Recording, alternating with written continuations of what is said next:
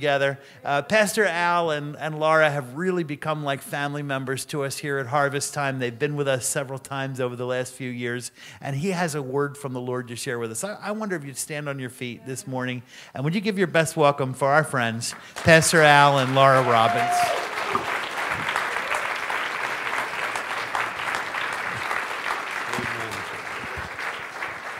Amen. You may be seated. You may want to come back to the third story of the third service because that football story gets bigger and bigger. now the uniforms would fall right off you if you got hit. By next, that was the best equipment I could get you guys. Come on. And we only did it because I wanted to play. And frankly, I still want to play, but Maybe I could try out for the Cleveland Browns. I don't know. They might. I could be a kicker or something. I would be willing to sit on the bench just to be there. But it's great to be back with you again. Uh, we haven't been here since July. I looked it up, and we were here in July. Although we travel a lot, we're between pastorates right now, and we travel preaching and doing antiques, and we build repurposed furniture and repurposed signs on antique lumber. My wife does that. I don't touch anything with paint, it makes a mess. Uh, and God's helped us. Each year it's gotten a little better, but that's not our vision and dream and our plan. And we're just believing God's got some, some other things. But when we drive through, we try to, if it'll work, we try to get here and see the progress out back. And I'll talk I'll talk about that later, but we're so excited to pull in. Um, man, a few months ago we came through, I think in October, and it was so early in the morning, no one was here yet, but we had to get a picture of the cross out front. it's just gorgeous what God is doing. I'm going to talk more about that as we go on, but I want to thank you for all your prayers and to inspire hope for anybody who's battling any health issues. But uh, my, my wife finally, after a three year battle, was able to ring the bell in the oncology ward. So, would you just stand and wave? Amen. And, you know, we just sold our house last week. We don't even know where we're going. We're open to what God has next. And uh, we just keep saying, you know, we have each other, and we're so grateful for that. We have so many friends that are widows and widowers, and I don't know.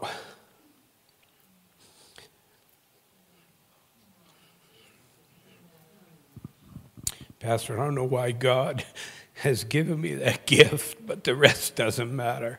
Nothing else matters, you know. Uh, listened to that song on repeat this morning, Crowns. Anybody know that song? It, think it was on a recent Hillsong. I'll listen to that for hours. You know, that, that, that's what I have. And uh, it's hard. It'd be hard to get rid of her. I've had notes from her since she was 11 and I was 12. We still have one. And uh, we, we dated other people in high school, but Finally, she got her head screwed on and knew what a great catch I was. Actually, God told her she was experienced. She was from a very stable six sibling family. And uh, I was from a broken home that I didn't even know what to do, but uh, we still have it. It says, we still have the note in our fireproof file. It says, uh, do you like me, Mary, or Beth? Circle one. I've been circling her ever since, and I'm going to be coming in for a landing soon. I have still weighing my options. Uh, last August 6th, we've been married for 40 years. And I know we look so much younger. We look so much younger that we married at age six. No, just kidding. But anyway, uh, yeah, back when we knew everything, we married at 18. She had turned 18 a month before we got married. And our big honeymoon was $100 at a campground up in northern Maine, Frost Pond. And we came home and we had money left. and we weren't in debt like a lot of couples now. We're going to West, whatever it is, and eight million in debt, and we had a good time, but there was nothing great that mattered anyway except each other. So, and we've had more than our share of great stays. In fact, yesterday, the hotel you guys put us in, I love a hot tub. In fact, when we look for a new house, I don't even need a bedroom or anything. If there's a hot tub, we're buying it. Got a lot of arthritis and injuries. You know, back, boy, what am I now? 59. When I was 45, I was still bench pressing 400 with no lift off, nothing. I love it. Leg pressing 1135, three reps. You know how, see, even old preachers, our stories get bigger and bigger. Anyway, it was really like 125. No, just kidding. But it was big enough that my son is bigger than me. And recently I said, Alan, if you if you let me train you, I can get you to a 500 bench. And instead of, yeah, let's go for it, Dad, he said, he burst out laughing, saying, Why, Dad? So I'll have a plastic trophy in my shed and not able to reach my pillow at night. So, so hot tub for joints and arthritis and injuries. I was in that thing 45 minutes yesterday. And, and then they had a you swim below and then you go outside. And I hate the cold. I've lived in New England my whole life. The cold is of the devil, in my opinion. and I trusted you guys, I trusted Pastor to book me that it would be warmer because we're like five hours south. And it was just as bad this morning.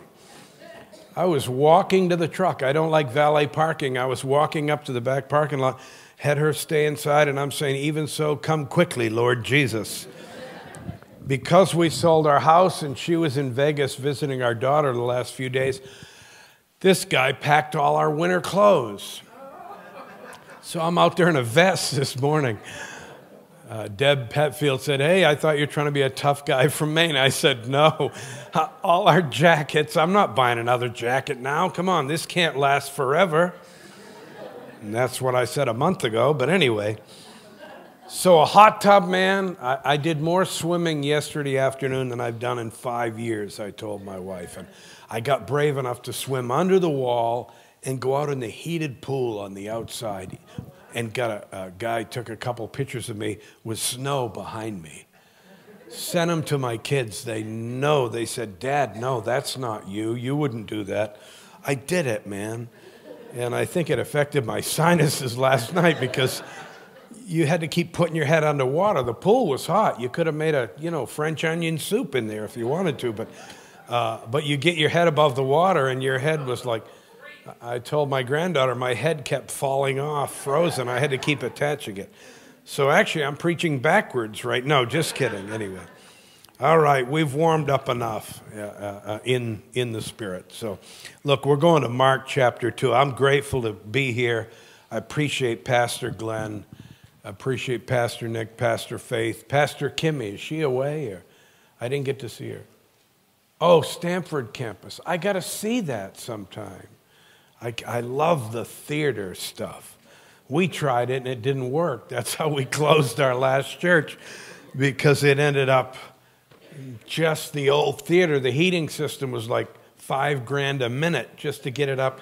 We'd get that heated up to temperature, 1800s building, we'd get it up to temperature, and it, it hit, would hit when the pastor said, in conclusion, then we finally got it warm enough, and people were dropping like flies. So we got out of there, but I'd love to see that, Pastor, and want to see out front.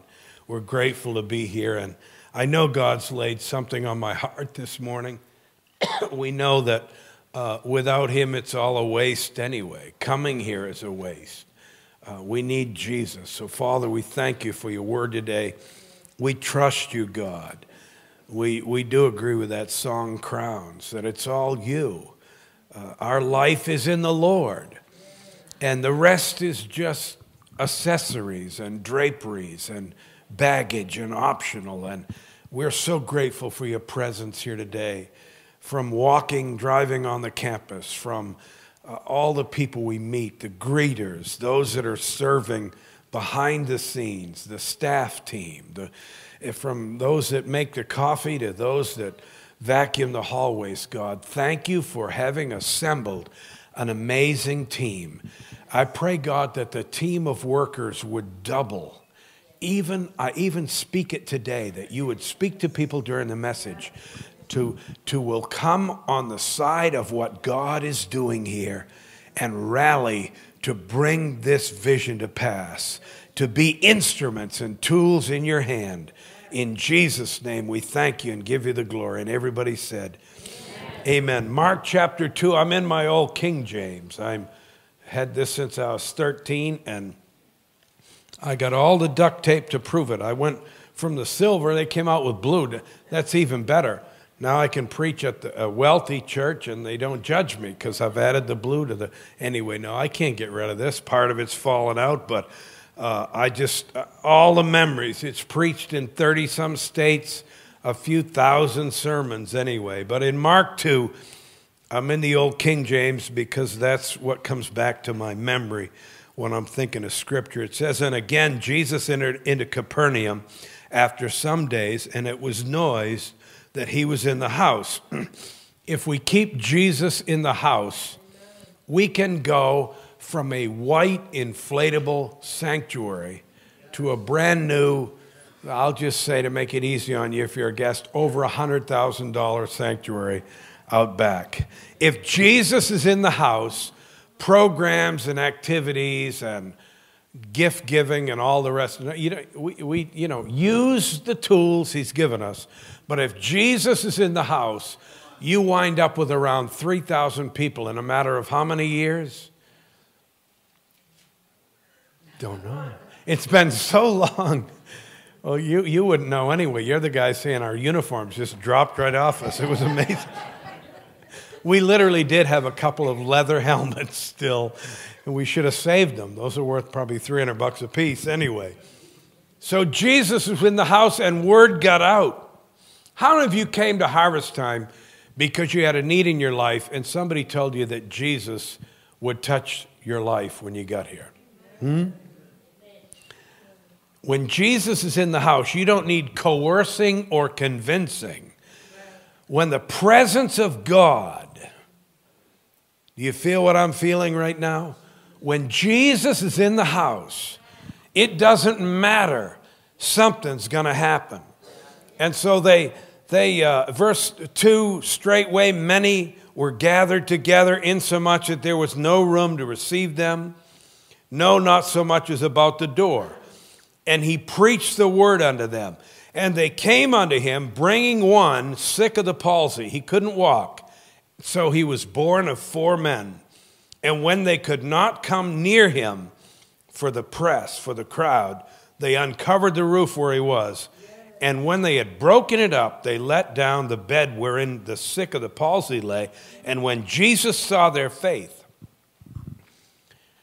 if you're here today and this roof opens up and they start lowering somebody in, that's an evidence of faith. Now, I don't suggest it. We got enough remodeling fees to raise to get this completed, but Jesus saw their faith.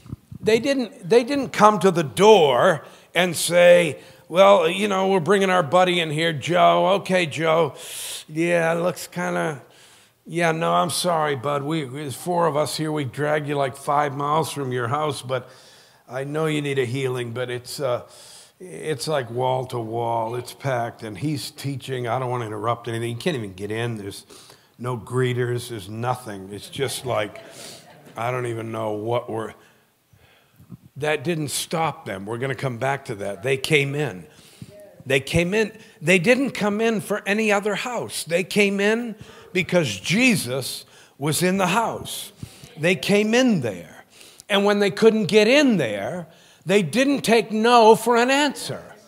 They did not care that you could barely see him, you could barely hear him. No sound system, nothing. No cordless mics. He's just preaching and lives are being touched. Read between the lines. We, the Bible doesn't tell us everything that's going on every second in the life of Jesus.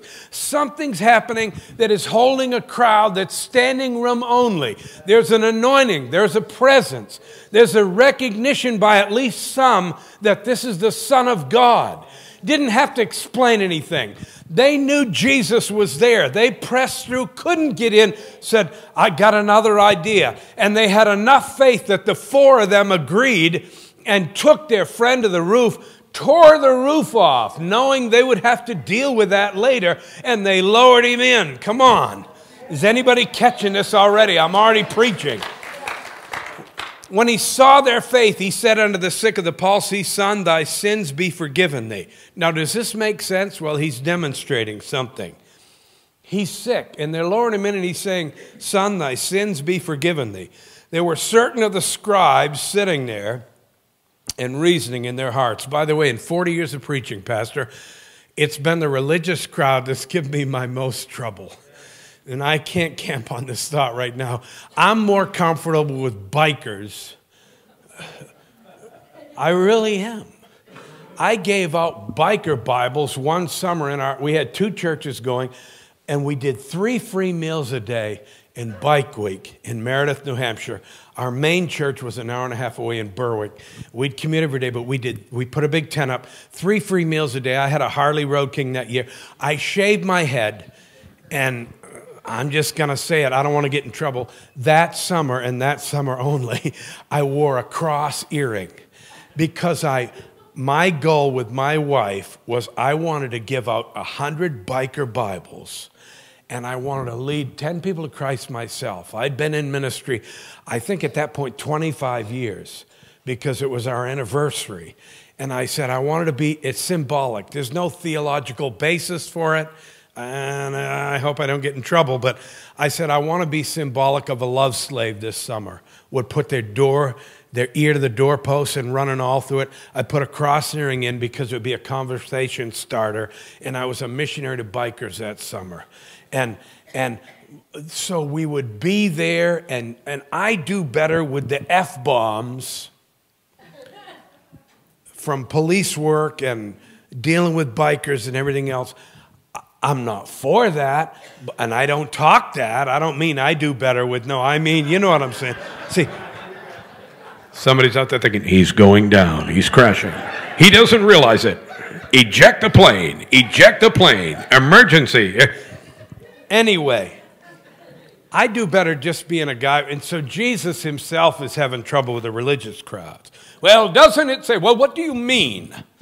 You are saying that you're forgiving sins. What manner of blasphemy is this? You're forgive. And Jesus said, I, I, what's harder to say? What's easier to say? What's harder? What's easier?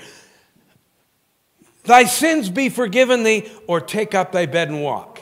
And while they're sitting there taking notes on a clipboard, looking down over their glasses, he says, Take up your bed and walk.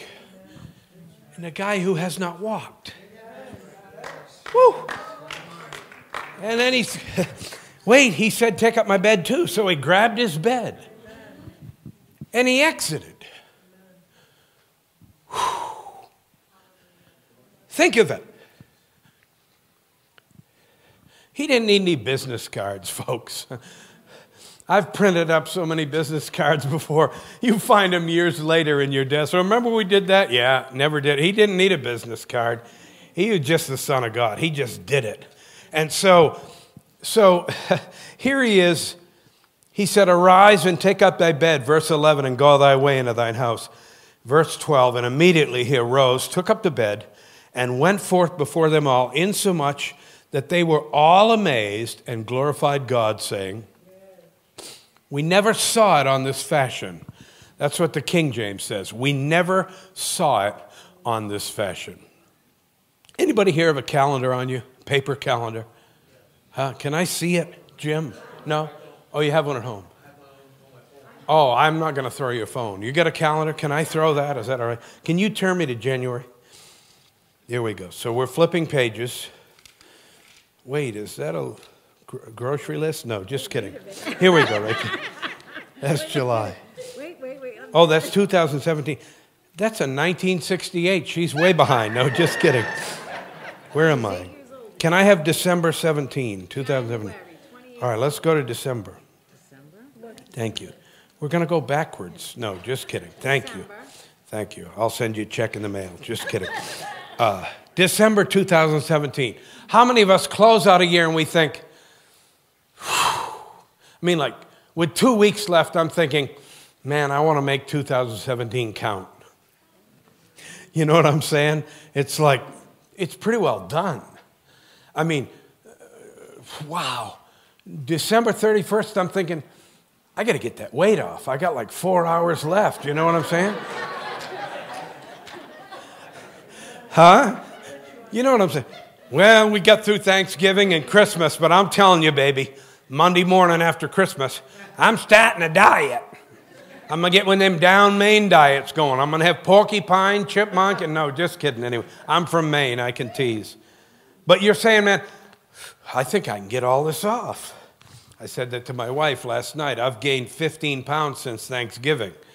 I still got 35 off, though. I got to focus on that. So we're trying to focus. And Father, right now, forgive Pastor Faith for bringing in those amazing crullers that were deep fried with a crisp sugar. And, and then the bagels, too, were awesome. And that corn muffin, ooh, anyway. Anyway, so I told my wife last night, honey, I got to get this uh, weight back off by the end of the month, you know? Anybody struggle besides me? Come on. And so I just love to eat. Anyway, come to the altar right now. We'll pray. So we think, you know what, though? Boy, here it is. That was a, wasn't that a Sunday night, the 31st? So, man, Monday the 1st, I'm turning the page. And how many years? I'm 59. I've turned the page from one year to the next 45 million times. You know what I'm saying? We are at my daughter's two days ago, and she was talking about our grandson, and he is 18 months. So I said, honey, how many months am I? And she put me in, she said, Dad, you're 710 months. I feel younger. I'm just months. 710 months. So I've turned a few calendars. And sometimes we can fall in the trap of thinking, just another year.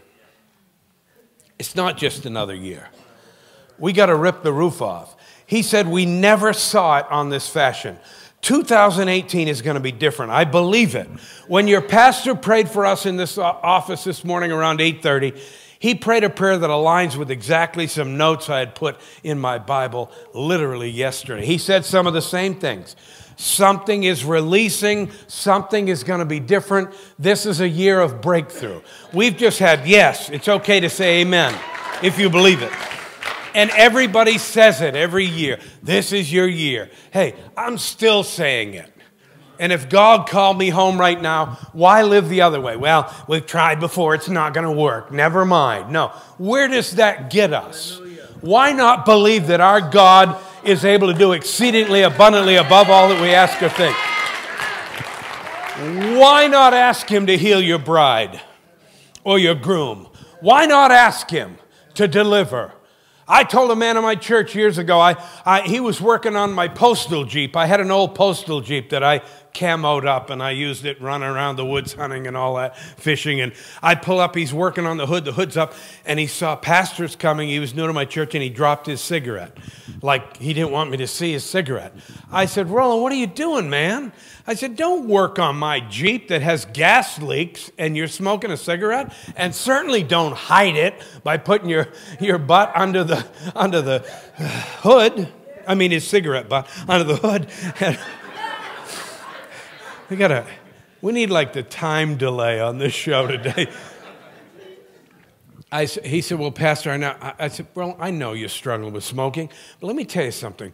One of these cigarettes is going to be your last. And now it's been about 25 years later. I talked to him about a month ago, visited his home. He's never smoked since. And he didn't stop till he was in his 40s. This is a different year, folks. This is a year to beat addictions. Things like pornography, Now, that never happens in Connecticut. This is a year to cut out some channels off your TV because you fall every time you get them free. Am I okay? Maybe this should be men's meeting Monday night. I don't know. But it's not just men. We're being bombarded in every direction. If you think, well, that's just the way I am, no, it isn't. You're clean and free in Christ, and you're going to change. You're going to get eyes for your own bride. You're going to stop doing the things you shouldn't do. You're, you're one of these days, somebody, I believe, Pastor, came here today and they're struggling with lighting up. and it could be not just a regular cigarette, it might have that little rolled up thing tucked in the pack so the police won't find it and all that like the guy at the car wash the other day on my truck, and he was cleaning something, and he, his cigarettes fell out, and out came a couple other things. And I said, You know, I'm a pastor, and you know, I'm an ex cop, and I'm going to tell you right now, we're going to forget about the special cigarettes that just fell out of your pocket. Oh, no, there aren't any. I said, Yeah, right, okay, but I'm praying for you. And I left it at that. Come on. Somebody's here today that is going to leave and never touch another one in the name of Jesus. Listen. We've got to rip the roof off. Three things quickly. Quickly. Number one, we got to rip the roof off our past. 2018 is not 2017. And I don't care if last year was the worst year of your life, this is going to be the best year of your life through Jesus Christ of Nazareth. It's time to get up again. It's time to stay up again. It's time to start stumbling, stop struggling, stop failing. It's a new year, it's a new day. This is the first Sunday morning of 2018. And we have a responsibility to the all powerful, all knowing God who is all enabling. And we have a responsibility not to live with our heads down and in the dirt and in the dark. We have a responsibility to get up in the name of Jesus and let Him change us by the grace of God. Ephesians 2, verse 1 says, You hath He quickened and yet some of us are walking around all, we're not a testimony of the quickening power of God if all we are is discouraged and depressed and crawling around whining and complaining and gossiping and bad words coming out of our mouth. Well, this is good preaching. I gotta, I gotta hurry up. Listen, we are not who they said we were. We are not who your third grade teacher said you were. You're not who your first pastor said you were. You're not who your first boss said you were. Some of you are changing. Come on. God can break you free. If you want a great testimony of the victorious power of God to completely change your life and bring it into a place of success, why don't you just read Pastor, uh, Brother Chef Julio Rubio's book? Brother Julio, can you just wave? You guys must know him by now, you know? Glenn, Pastor, one of the only books I've read about, three books in my life, didn't matter the length, in one setting. His was one of them. You're walking to the bridge that day and God interrupted it. Look where you are, all styling back there with beautiful mama and a son. Come on, and kids, man. And your book. Can you say amen, Brother Julio? Chef, can you wave? Look what the Lord has done in the name of Jesus. If he had failed to rip the roof off his past, he'd still be there. Listen, quickly, I got like four minutes. Listen, rip the roof off your present. Don't say uh, with your past, well, that's how it's always going to be. No, it isn't. I, I'm a little boy who, at age five, my daddy left. My dad was an abusive alcoholic, and I've told this story before. Years later, I led him to Christ. And he'd bring up his past and say, I'm sorry for what I did. What do you mean, Dad? Well, I left you and your mom and your sister, and I didn't send support, and I moved to. I said, Don't know what you're talking about. He looked at me like, What are you talking about, son? I said, Because you accepted Christ as your Savior, and that's not you and I. We're father son. That won't change, and everything's fine in my book. So why don't you leave yourself alone? That was 40 some years ago, Dad and he's with Jesus today. And the last few years of my dad's and stepmom's lives, and my mom and stepdad that I was raised by, all four of them attended my church. Hallelujah. And there wasn't one fist fight. Not even an argument. Come on. So don't be stuck with your past and rip the roof off your present. They wanted to get him to Jesus. They did not let that roof of their present circumstances get them in the way. How many people make a start and then quit? These folks were so intense. They said, We're not taking no for an answer.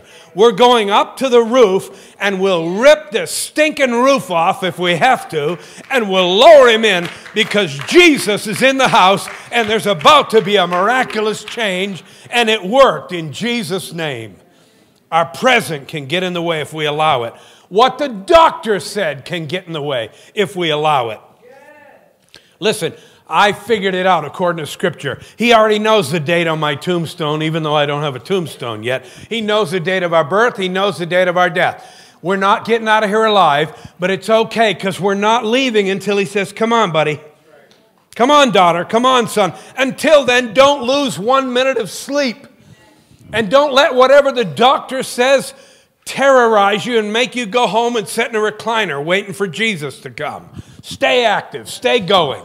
If you got a problem, start eating healthier, start exercising. Say, because uh, if I go, I'm going down with a fight. I'm not going to go down sitting there all depressed, discouraged, and terrified. In the name of Jesus, whatever my present is, that roof is in the way. I'm going to rip the roof off my present. I'm going to be like Abraham. In Romans 4, it says, He staggered not at the promises of God. I refuse to base my future on what my past was in that calendar and even what my present is. I believe in 40 years of marriage and 40 years of ministry, this is going to be our greatest season ever. We've had enough tough seasons. Come on.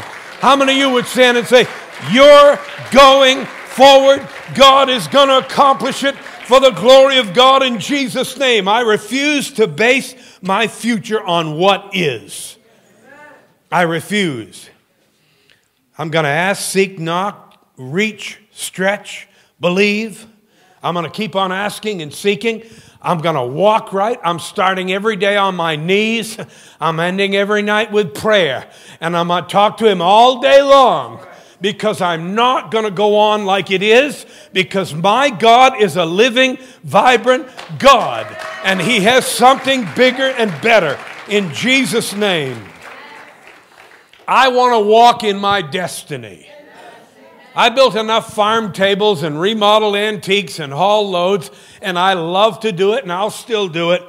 But as we did it, we've often said this is not our call and our gift. It's paying the bills. And each year it's gotten a little better, and we've done it a little for 40 years now. But, but something's, Pastor, something, something's happening with this year. Something is happening. And I believe by the next time I come to preach, something is going to happen and I'm going to give testimony to God. I don't know what it is, but I feel it like never in my life.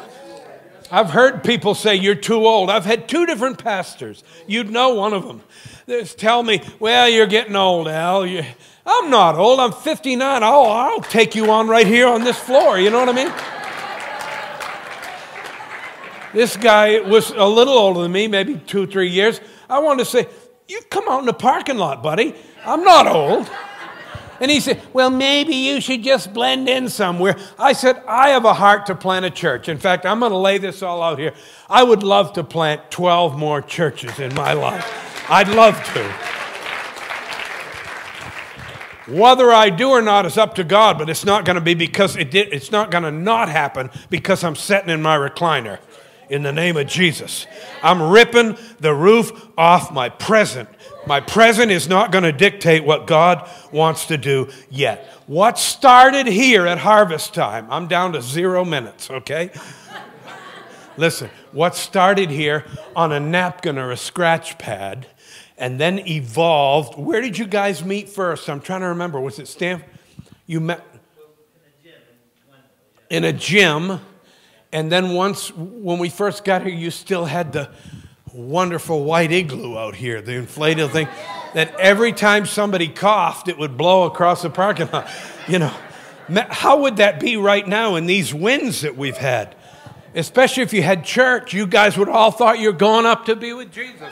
That thing would have been on one of the YouTube videos features this week. And then you get this great sanctuary and great Sunday school rooms and a wonderful kitchen with beautiful coffee. Thank you, Pastor Faith. I'll forgive the donuts because the coffee is helping me today. Listen, and about three years ago, we come in, there's a hole out back. And the hole tells me something that we, and, and I'm interjecting my wife and I because we feel like family and part of this team here, we are not going to sit here and be content with this wonderful sanctuary because there aren't many more seats right now in the second service, and we're doing three services now. And there's a couple more people I'd like to see come to Jesus. Somebody's uncle, somebody's aunt, somebody's ex wife, somebody's child, somebody's mom, somebody's dad. And so we're ripping the roof off the future. And for three years, I've been watching a hole turn into one of the nicest sanctuaries I've ever seen in my life all over the country. And we're not going to be content. And I know how it is because I pastored, I've been in ministry over 40 years. And oh, he's taking up another offering. Now, none of you said that, but maybe people driving by. Well, when are they going to think it's good enough, you know? I had a lady once in my first church say, Pastor, why are we expanding? Why don't people just learn to come early to get a seat? I wanted to say, I was respectful. She was older than me, about 100 years older. And I, I wanted to say, Oh, precious sister, do the math. What if you're the one that gets here late? I didn't. I kicked her out. No, I didn't. I let it go. Listen, what a mentality. Let's not allow any more members. I say we take another half a million this month. Get them in here in Jesus' name. And we've got to rip the roof off the future. I know it can be scary. Uncertainty has stopped a lot of people. Fear of the unknown test results and threats and issues and incidents that'll probably never happen. I'm a little crazy anyway. I had a guy when I was a police officer arrested him one night and I'm taking him to jail. He's cursing me. He's yelling, screaming. He's saying he's going to come kill me and all that. I said, Yeah, I'll tell you my address. We lived at 120 Wentworth Road then. I didn't tell my wife and kids, but I told him, Where we live, if you want to come, come on in. I'd get to the jail. I was a municipal officer. I'd get to the jail where I was also a chaplain and sworn deputy. I couldn't tell a guy that was violent that I was also a pastor and pray for him. But when I get to the jail, the guards would say, Hey, the Reverend's here tonight. I'm bringing in a prisoner. And I've been good to him because that could be me or my son or my daughter or my wife or anybody. They just had a bad night. I'd get there and the guards would say, The Reverend's here. And the guy would say, Oh, I just cursed out a Reverend. And I would say, It's okay, but if you want help with this drug problem, I can point you to several. And it would open it up because I didn't bring it up. So la di da, I could share the gospel. As the arresting officer, and I was so gentle anyway, I had him thank me. I had, I had a guy thank me. He said, Oh, thank you. I- have stopped drinking. I saw him months later. I've stopped drinking because you arrested me that night for drunk driving. I'm alive. And I'm saying, Yeah, we got through to one person. Come on. Listen, listen, we got to wind down and rip it off. Decide what's in your way. How many of you in this message have already learned some things that are in your way? You know, no one has to tell you. I got to say it again. It could be a TV channel. It could be a TV channel. How do you know that? Come on, this is a real world. Come on. It could be a relationship with a friend, a Facebook friend, who's married and you're not. How many situations have we unscrambled because they decided to go skiing together one time because the other spouses didn't like it? Come on. Decide what's in your way and drop the defeated talk. John 3:17 says he sent not his son into the world to condemn the world, that the world through him might be saved. Speak life and get up and get up and get up. And the last thing is this quickly. Listen, the last thing is you've got to find friends, and you will find them in this church. I issue no disclaimers. I can say with confidence you're going to find a pastor and an associate pastoral team and a ministry team and a worship team. Eh, I'm telling you that you're going to be safe with, and they will carry you to where you need to go.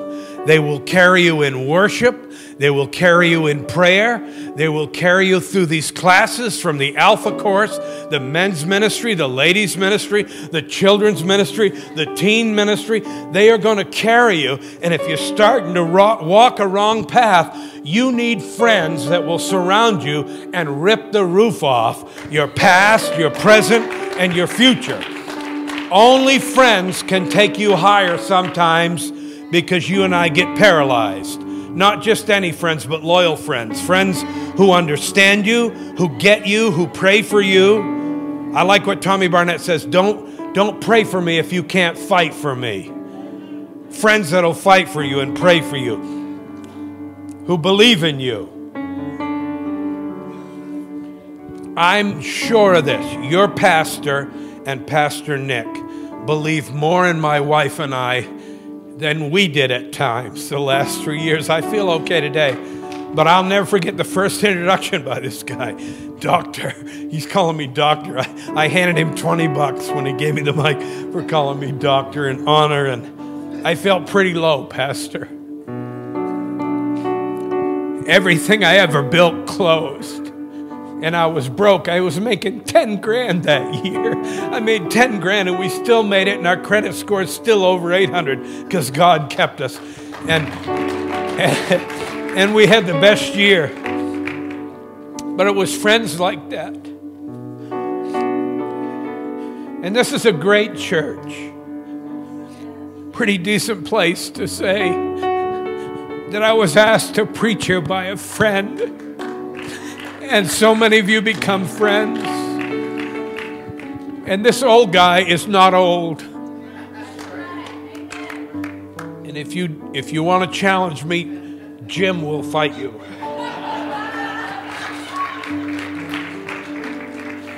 I, I know our time is out. I know it's out. I love you guys. There's so much hope and potential. There's such a great future. You guys opened that up incomplete. Christmas Eve, New Year's Eve, there was standing room only. We wanted to come, but we couldn't. We were in the middle of a house closing. And we saw those pictures. I look at this. You watch what God's going to do. Father, in Jesus' name, I, just raise your hands if this message was for you. Father, in Jesus' name, I rebuke any hindrance, any obstacle past, present, or future. We release this to you. We release each individual to you, every marriage to you, every relationship to you, this whole team, this worship team, these pastoral team. God, you just do it. This is the year. It's an unusual year, and we trust you. You are going to rip the roof off, and you're going to use us in Jesus' name. Amen.